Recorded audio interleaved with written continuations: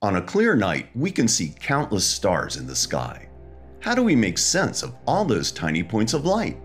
Humans throughout time have made sense of the sky by creating imagined shapes among the stars. We call these patterns constellations. Scientists around the world use 88 specific constellations that have been agreed upon. Most of those are based on Western mythology. But every culture around the world has created its own understanding of the sky through different constellations. You can decide for yourself what shapes you see in the stars. To learn the commonly used constellations, you don't need to memorize them all.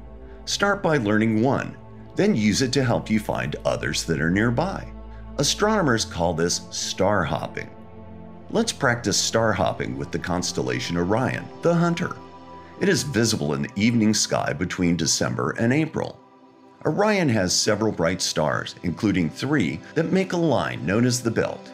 You can use Orion's Belt to find two other nearby constellations. Trace a line from Orion's Belt toward the east until you reach a very bright star. That is Sirius, the brightest star in our sky and part of the constellation Canis Major, the dog.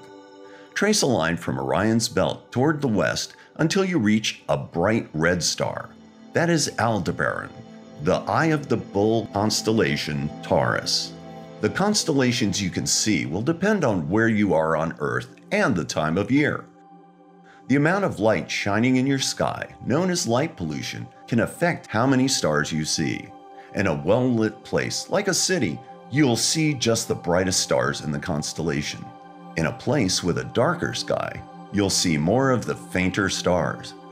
No matter where you are or what day it is, use your star hopping skills to start learning the constellations one by one.